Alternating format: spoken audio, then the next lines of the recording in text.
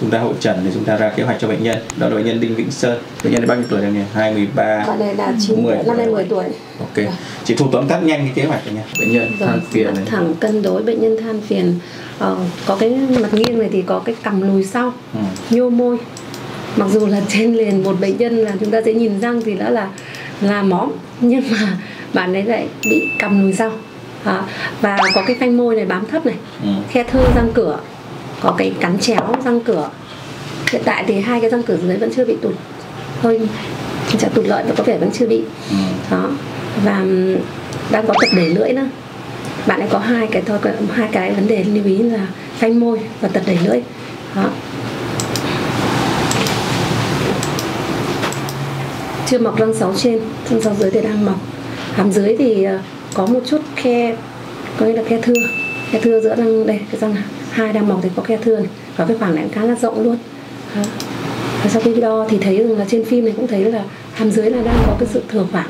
Đang có sự thừa khoảng của hàm dưới. Hàm trên thì cũng không phải thiếu khoảng. Không phải thiếu khoảng lắm.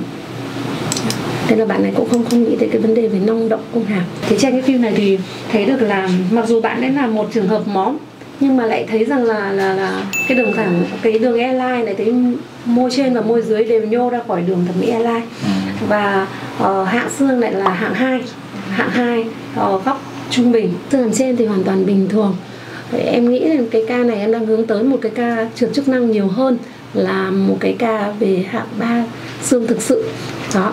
Và uh, với ca này thì bệnh nhân than phiền đó là cái cắn chéo của cái nhóm răng cửa và muốn giải cái cắn chéo đó. Thì cái giai đoạn 1 với bạn này thì là em sẽ điều trị bằng cách là mình sẽ giải cắn chéo răng cửa bằng một cái hàm Haley. Đó kết hợp với là thêm hai cái cánh tay móc để có thể là sau này mà khi giải ra và có khoảng có thể đóng được khe thưa thì mình sẽ tiến hành đóng khe thưa và cắt phanh môi hàm trên.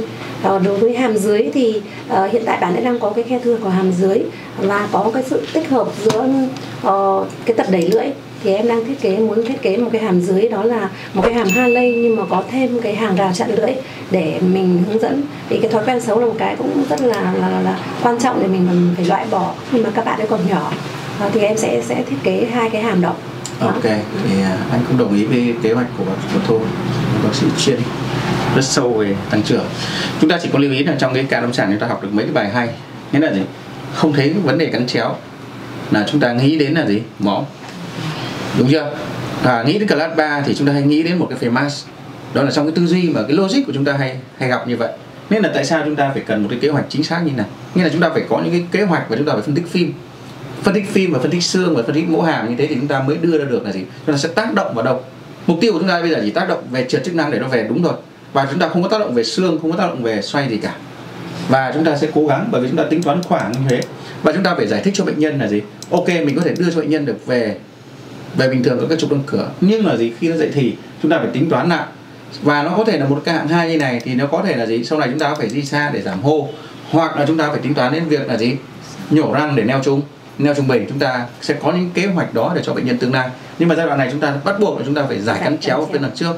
Đúng không? Thì chúng ta có thể làm ok một cái hàm Harley đẩy vuông góc cho cái trục răng cửa ra với một cái lực và dùng hai cái đánh cánh tay đòn để chúng ta có thể đóng khép khe thưa để có khoảng. Và dùng hàm dưới thì chúng ta làm gì có thể giúp vừa chặn lưỡi và chúng ta có thể kéo lui nhẹ một chút hàm dưới. Bởi vì hàm dưới thì với khoảng leeway và sự phát triển này thì anh nghĩ là nó sẽ có khoảng thừa đủ và không sợ chen trúc đối với hàm dưới.